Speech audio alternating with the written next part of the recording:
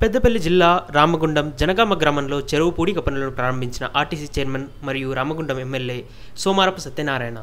ఇంకా ఈ కార్యక్రమంలో mayor Konkati Lakshminarayana floor leader Muppidi Satyaprasad division corporator Janagama Narasaiah P Srinivas పదవ division అధ్యక్షులు doctor Srinivas TRS party Ramagundam corporation SC cell coordinator Nirati Srinivas minority cell coordinator MD Akram పలువురు TRS నాయకులు జనగామ గ్రామ ప్రజలు అధిక సంఖ్యలో పాల్గొన్నారు.